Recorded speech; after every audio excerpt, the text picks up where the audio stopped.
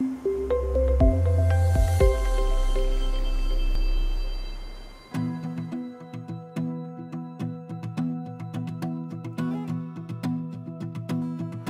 I'm Steve Howser, and I'm General Manager of Aberdeen Springfield Canal Company. Aberdeen Springfield was Idaho's first Carey Act project.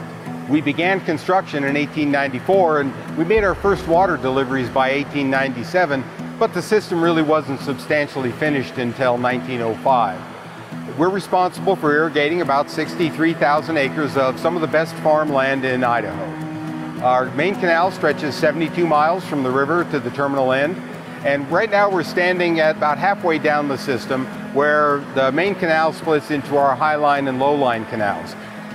Our primary crops that we grow here, like most of the farms in eastern Idaho, are potatoes, sugar beets, and grain.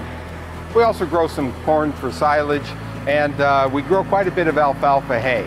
And much of that actually gets exported to Japan and China from our area here.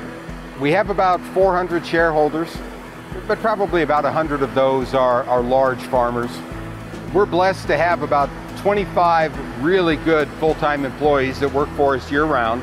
Uh, during the summer, of course, uh, most of those folks are involved in uh, delivering the water and maintaining the canal. And then in the wintertime, all of those field personnel go to work in uh, repairing and doing the maintenance on the canal. Uh, we also have a great office staff in addition to a science group where we do our own water quality testing and all of our own hydrology and engineering. We're also probably the most technologically advanced canal system in the state of Idaho.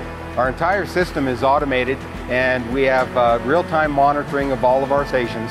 Uh, the only thing that we don't automate is actual deliveries to the shareholders.